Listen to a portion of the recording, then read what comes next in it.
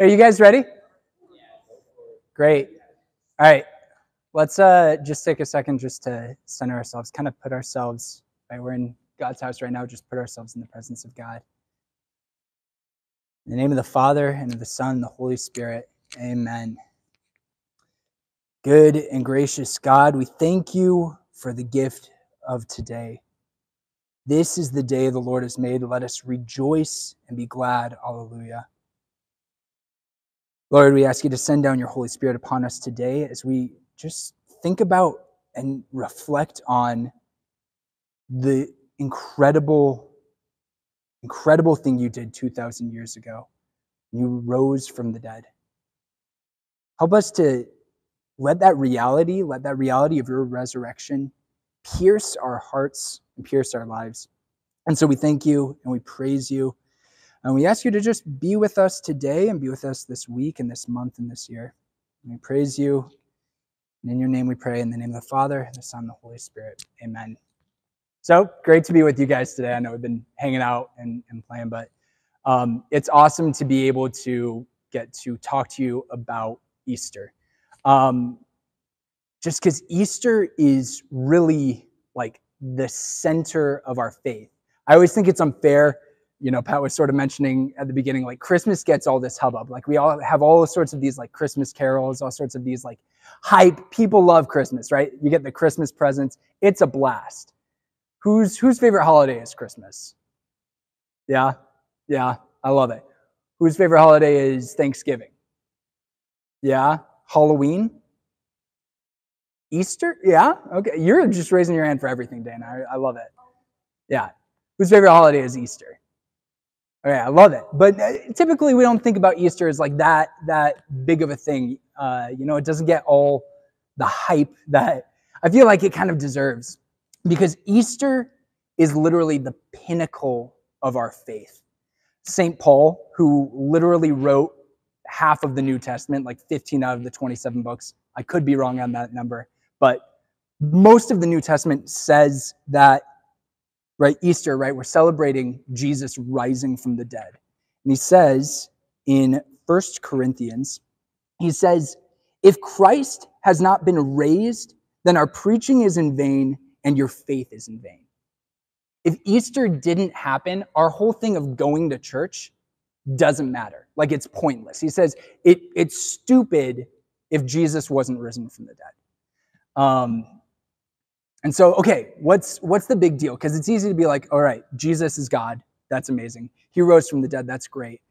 We get to have eternal life. Okay, that's cool. But what does Easter mean for me today? Like, what what's the big deal? Um, did anybody have a chance to go to the Triduum uh, this time? Yeah, right. Triduum, Good Friday. What are we celebrating? Passion. No, that's Holy Thursday. I like it though. Yeah, yeah, you're good. You're good. But Good Friday, right? Passion. The resurrection doesn't mean anything until we first look at the passion, right? We celebrate on Good Friday. We were leading up to it all throughout Lent, right? It was that time of kind of sadness. We were fasting, abstaining, alms, giving all that stuff, all the prayer, preparing for Jesus dying on the cross. And when you think about that, has, has anyone ever seen um, the Passion of the Christ. Okay, Eli has. You've seen it, Connor? You've seen it, Kelly? Like it's intense, right? Like it is a hard movie. It's it's a movie just depicting the last moments of Jesus's life. And in that in that film, we see like what's actually happening in the resurrection. Jesus dies on the cross, and he literally faces all of our burden of sin, right? All of the weight of our hatred, of feeling abandoned, feeling lost. Um, he faces like every single agony that you could imagine, any kind of pain that you've experienced, like Jesus faces it there on the cross. And it's intense. And he bears all of it, not just because he's a glutton for punishment, but to show that he loves us even then, right? He faces so much hardship He's scourged, he, he's crucified, his friends abandon him, he's betrayed, right? Those feelings or those moments where maybe you feel betrayed or like you feel alone, or maybe you've hurt yourself and you feel like, man, I, I got nothing to give. Like you feel empty. Jesus bore all of that for you. But that's the thing is, if we ended on Good Friday, right? Jesus dies. God died for us. We hear that so many times. Okay, God died for us, whatever. But he died so that you know that nothing can separate you from his love. Not the biggest sin can separate you from his love. Not feeling abandoned, feeling alone, not the, the worst thing that you could imagine, like running away from God, cursing his name, murdering someone, like that even couldn't separate you from God's love. All right, that's great. But if it just ended in the death on Good Friday, if Jesus just died, that would be a sad story. I don't know about you guys. I love movies, right? Who loves movies here? Yeah. I grew up watching like tons of Disney films, tons of like those fairy tales. And what's like the key line before you have the final credits that say the end? What's the line right before it for like Disney fairy tales that you always hear? And they lived happily ever after, right? That's what I, I think if we're honest with ourselves, like we want to hear that so often. And they live happily ever after in our own lives, right? Because we want to believe that those bad things that happen to us, whether it's like we're struggling with a test or this friendship is, is really tough, or maybe I'm struggling with a sin that like I just can't shake, or maybe I'm feeling alone. Like we want to believe that we'll live happily ever after, that that won't have the final say. Good Friday, right? Jesus faces everything that us as humans could possibly throw at him. All of the hatred, all of the pain, all of the suffering that we could possibly pile onto him. He faces it there on the cross. And if he just died there, it would mean that sin and death and all of those things that pile up would have won. Right? It would have been like, all right, I guess there's not a happily ever after. What's, what's the point in all of this? But that's the incredible thing about the resurrection is that those things don't have the final say. Right? You see those, those wounds that he has on his, on his hands and his feet, right? Those, those wounds that like we gave him, those don't have the final say. Those don't have the last word. There's a, um, this Sunday, we're going to hear the gospel, and it's an awesome gospel uh, about doubting Thomas, Thomas the apostle. Do, do you guys know this story? So, Thomas, so Jesus has died. It's Sunday.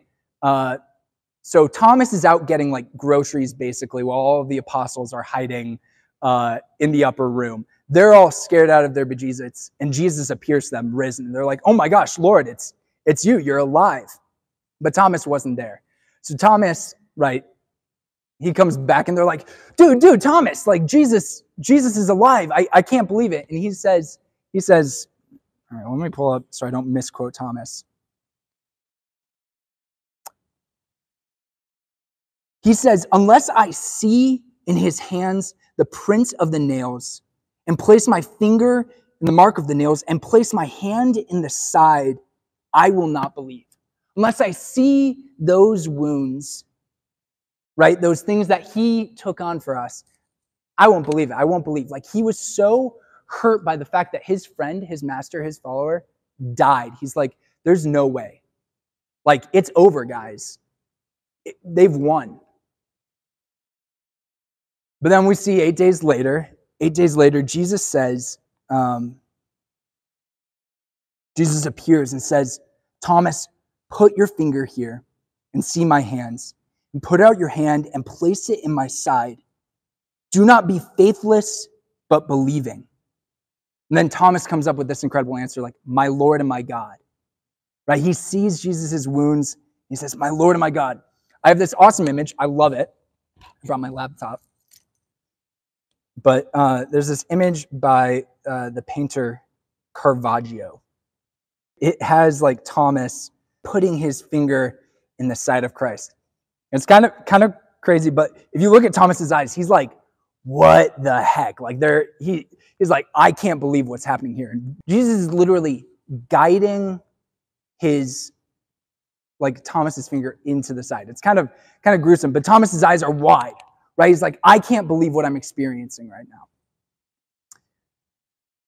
The wounds that Jesus experienced, right, from all of the sin, all of the all of the hatred, all of that stuff from, from suffering on the cross. Those wounds don't have the last word because they suddenly become not just like a, a sign of all of the pain that Jesus experienced, all the suffering he experienced, but they now become a place where we come to believe. They're, they're glorious. They're like an incredible thing. And so I think about that for our life. You could be like, okay, Seminarian Patrick, you're talking about all of this. So what? What does this matter for me right now? we all have wounds in a kind of way. Um, whether or not we're like they're physical wounds, like I cut my arm or broke my wrist, like I, I don't know, riding a bike. Like often they're spiritual wounds, right? We we feel like we're not good enough. Uh, we feel like we're not smart enough. We we feel uh, we struggle with like maybe an addiction or a particular sin, or we're struggling to make friends and we feel like nobody gets us, or, or we have a hard time relating with our family. Right? We, we all carry something. It might not be that big, or it might be something that you feel hopeless about. And you think, like, maybe you can't imagine how it could be better. You can't imagine what life will look like to make this, this wound go away. You, you feel like this has the final say. But Jesus died and rose again so that his life, right, that gloriousness, those wounds that he experienced, don't have the final say. The things that you guys struggle with, whatever they are, don't have the final say in your life. Jesus wants you to live life and live it to the fullest. That's what he's made you for. He doesn't want you to live life fearing death, fearing these things. He has made you for an eternal life. He's made you to share in His life, to experience His love, even in those wounds, that they may become a place that you can know Him better. And so, this Easter season, it's, it's a time to rejoice.